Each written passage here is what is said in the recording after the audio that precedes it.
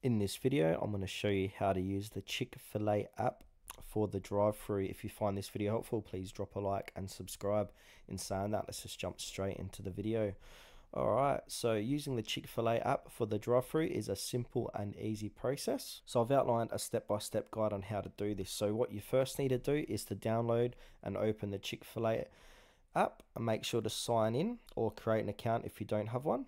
Then you need to place your order in the app. So open the app and tap the order button at the bottom of the screen. Select your nearest Chick-fil-A location and then choose your desired menu items and you can customize your order if needed. Then select drive-through as your pickup method. So after choosing items, proceed to the checkout.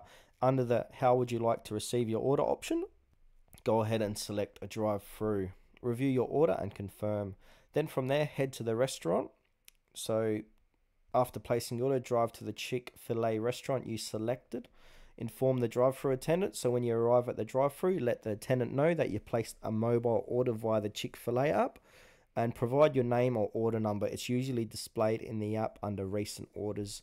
From there, receive your order. So after verifying your mobile number, the Chick-fil-A team will prepare and hand you your food at the drive-through window. So using the app for the drive-through saves time since you can skip ordering at the speaker and have everything ready by the time you arrive. Plus you'll earn Chick-fil-A reward points for every purchase as well.